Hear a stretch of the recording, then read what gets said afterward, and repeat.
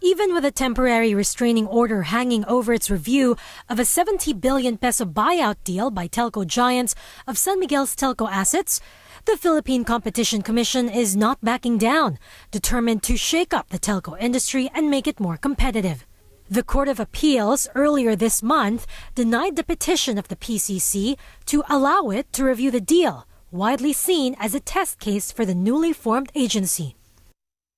I don't think, as a regulatory agency, the Philippine Competition Commission feels that our hands are tied.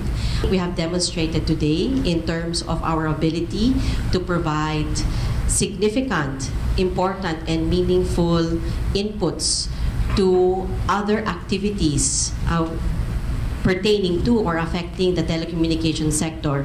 Uh, we don't think that that case has kept us from being able to make those contributions. For one, it's recommending policy reforms in the National Broadband Plan, including imposing higher penalties on airing telcos and giving the National Telecommunications Commission more tools to be efficient. Currently, the NTC can only impose fines of not more than 200 pesos per day until the violation is corrected.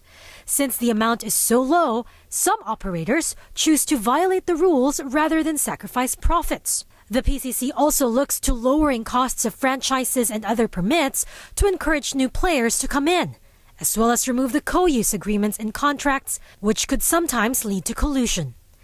Meanwhile, the agency has also been active in various legislative deliberations.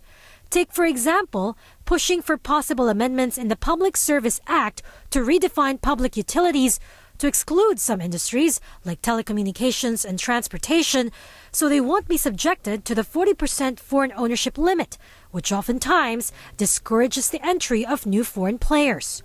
It's also pushing for the removal of tax exemptions for Smart and for the PLDT unit to be listed separately from its parent company for transparency obligations.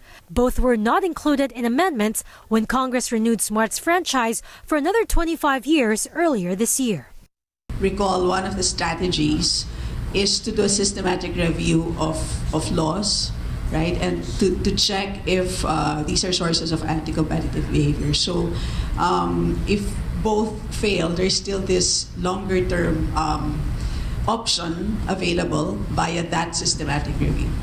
PCC says those not included in the amendments may just be included in the Philippine Telco Act. PCC Chairman Arsenio Balisacan admits there's a lot of work to be done and the agency could use more teeth in some aspects, but says it's too early to tell. After all, the commission was just formed in middle of 2015.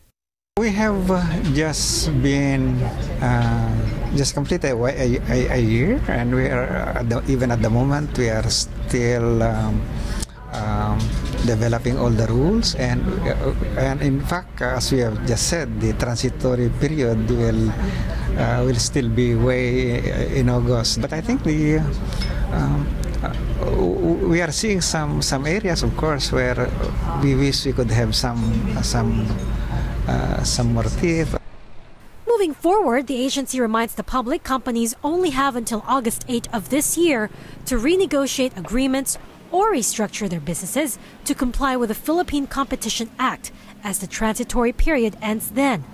Violations committed after that date will already be subject to the full administrative, civil, and criminal penalties prescribed under the law. Michelle Ong, ABS-CBN News.